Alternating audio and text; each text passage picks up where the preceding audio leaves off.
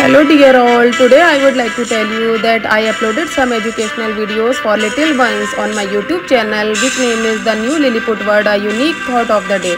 Some of my videos had our respected national flag Tiranga but it is in the wrong position. Maybe it was pasted by my little class once by mistake and without my knowledge. But when I saw it, I immediately take action and remove it and put it in a safe place with full of honor and respect and promise myself that this type of mistake will never happen in future again. I am very ashamed.